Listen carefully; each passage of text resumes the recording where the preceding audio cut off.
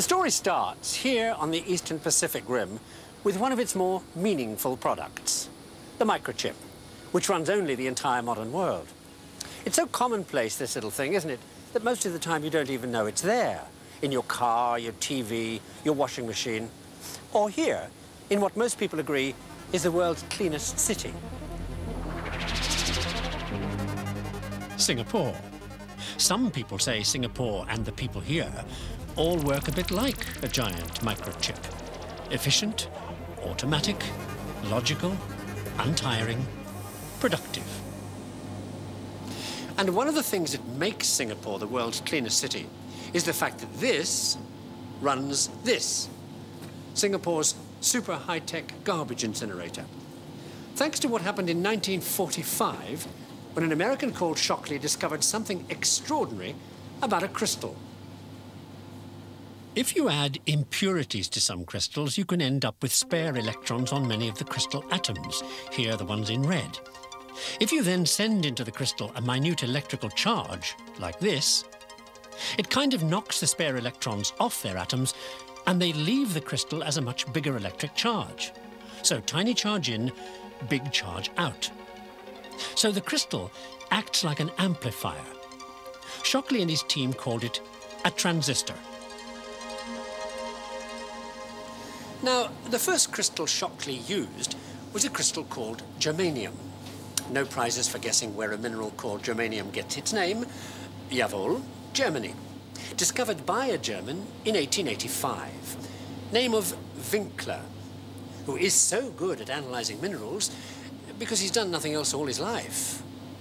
Well, he has done one other thing.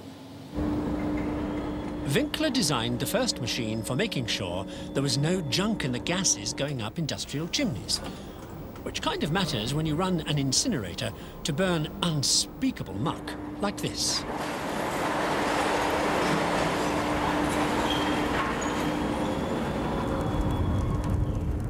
So you can thank Winkler for today's clean environment. But apart from germanium and hot air, Winkler's real full-time business was cobalt, a mineral that dyes things blue. The kind of blue you need when you're into expensive fakes. Chinese fakes, I mean. And if you've ever tried to buy a Ming vase, you'll know why there was a market for fakes. It cost an arm and a leg. Oh, and they're blue, of course. And cobalt is the only stuff that will take the high temperatures you need to make porcelain. So the real Ming Chinaware had also used cobalt.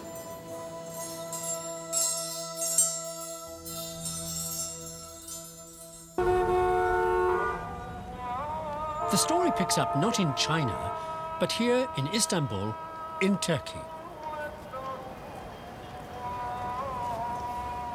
Because Istanbul is the link back to the Chinese porcelain masters and how they came across the cobalt they used.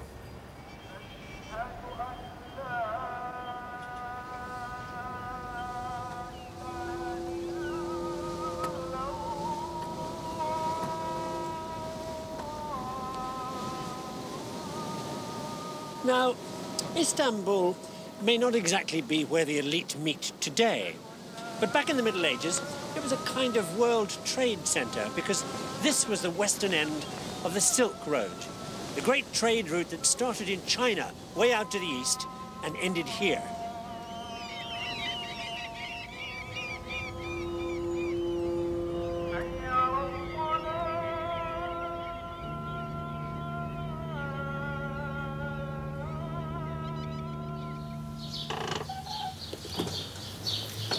One day in the 14th century, out along the Silk Road, at a place called Kashan in Iran, the traveling Chinese traders found this stuff. Blue tiles, colored blue by cobalt. So at incredible expense, they took the stuff back home to China, which is why Ming porcelain is blue and costs a lot, and why I'm telling you all this in a Turkish graveyard. Look in here.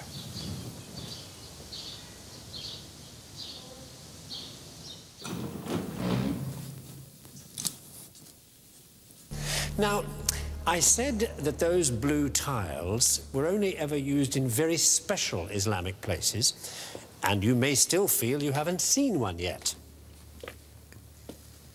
Okay? You want special? Here, special.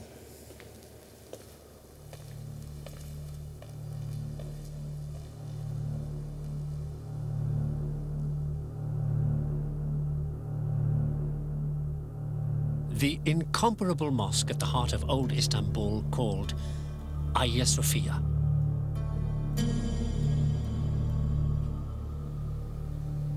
The greatest tilers in the Islamic world were brought here to cover the walls, no expense spared. Which is why Hagia Sophia is one of the wonders of Islam. Well, kind of. Because the ironic thing about all this amazing Islamic decor is that the guys who did it used the tiles for a great cover-up job.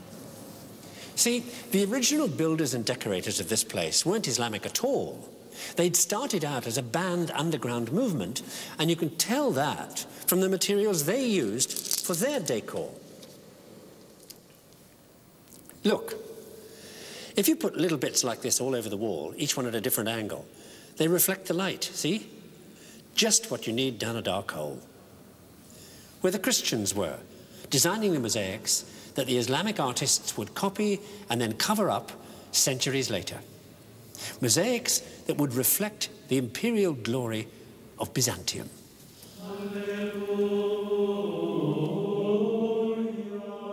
Once the Christians came out of hiding when the emperor made them official, and then gave the whole of the West to the Pope in a document called the Donation of Constantine.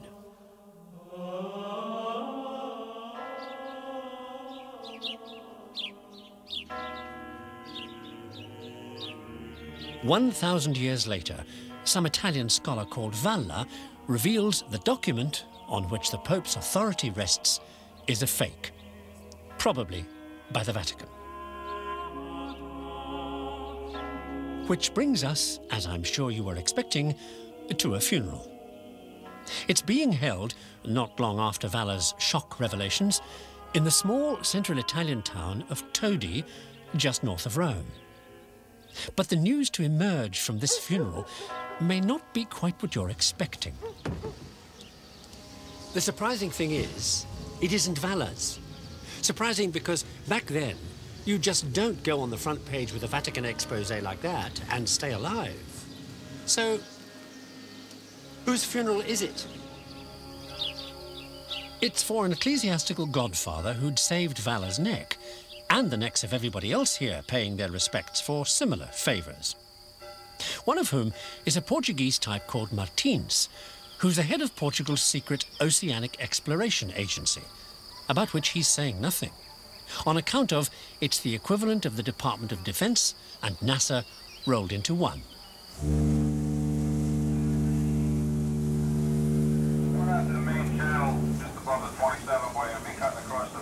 Now, I said NASA because Martin's explorers are like NASA people, right out on the edge.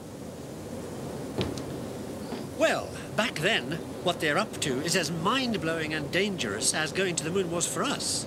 Because what they're planning is to boldly go where no European has gone before. They've been down the coast of Africa for gold, and then out across the Indian Ocean to the Far East for spices. But this is the big one. The vast, trackless, unexplored wastes of the Atlantic.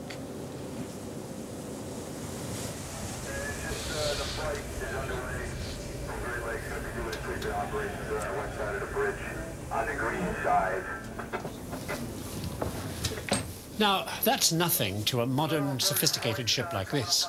But to the Portuguese, it was off the edge of the known world. Now, the Portuguese were able to take risks like that because they had various bits of equipment that added up to the 15th century equivalent of satellite navigation.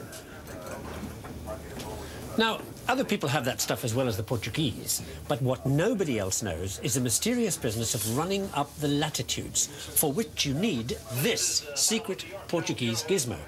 OK, you go north until the pole star is a certain number of degrees above the horizon on your quadrant, and you measure those degrees like this. The star's up there, line it up, check the plumb line's free,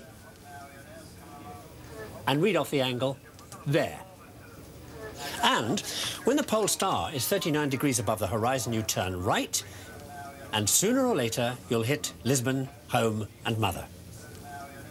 And that's why nobody else was doing the one thing that really makes the Portuguese like NASA, deliberately losing sight of land, going on secret navigational proving exercises deep into mid-Atlantic, which is why in 1497, Roriz is able to tell his explorers something quite extraordinary. To forget hugging the coast of Africa on the way to India like everybody else does, instead, to take the best winds by going due south down the Atlantic from the Cape Verde Islands and then left around the bottom of Africa. It works. So three years later, a fellow called Cabral tries doing the same thing. Only he goes a little bit too far west and bumps into Brazil. Inside us and everything else in the world. Leeuwenhoek's little organisms also went over very small in Switzerland, where they had an unexpectedly literary effect. Which is why I'm here in this charming little restaurant on a lake in Switzerland. Because in 1813, for the average Joe, the key question is, is life as we know it just moving too fast for people to take? I mean, every day, new scientific amazements. Gravity, chemistry, physiology, electricity, geology, anything, it seems, with a Y in it. Thank you all of which seriously underwhelms one particular bunch of scribbling misfits on holiday here in Geneva, the romantic megastars Byron and Shelley and their child brides, over here for a bit of wife swapping and dope smoking and stuff like that. Anyway, one night at dinner, the conversation gets round to the subject of microscopic creepy crawlies and how apparently some scientist has galvanized a piece of pasta and made it come alive. Well, back then, who knew? So Shelley's wife, Mary, gets all exercised about how science will destroy us all by tampering with the forces of nature and decides to write a novel about it.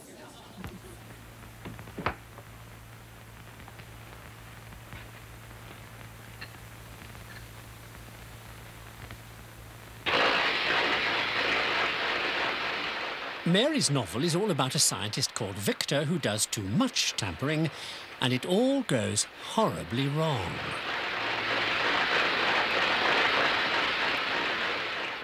You already know what I'm talking about because you know what Victor's other name was. Frankenstein. But Mary had a secret agenda inspired by her socialist father. Frankenstein was really an attack on the kind of technology that she thought was destroying people's lives in the unspeakable conditions of Industrial Revolution factories. One of her father's friends and admirers was a young factory manager called Owen, who turned his factory in New Lanark, Scotland, into a kind of workers' paradise. We'd describe Owen as politically middle of the road, but back then he was revolutionary. So, seeing no future for his plans in Britain, Owen took his revolutionary ideas where most revolutionaries at the time did. America. Well, Indiana. Which brings us back to where we started, here in New Harmony, remember? So this is how the harmonist would have made candles, like this. Owen's dream, still described to tourists today, was to set up a utopian socialist commune away from the factories and the exploitation. So when the tiny American settlement of New Harmony came up for sale, he jumped at it. But the reason I started the show in New Harmony has to do with a fellow called Maclure, who had been so impressed by the New Lanark experiment, he offered start-up money to Owen for the New Harmony venture. And what brings a final twist in my story is that besides liberal causes, Maclure had one other passion.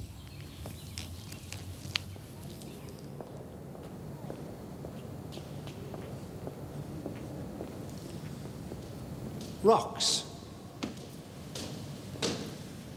By the time of New Harmony, Maclure had been to every state and territory of America with his bag and his hammer, chipping, cataloguing, and collecting stuff like that. And in 1817, he produced what would turn out to be the first and only proper geological map of the United States for the next 25 years. looked like this. I won't bore you with the detail, different rocks, different colors. But there, in the area where Kansas, Missouri, and Oklahoma touch, Maclure identified something that brings my story full circle. The kind of mineral deposits that in the 20th century would provide the germanium Shockley needed for his first transistor.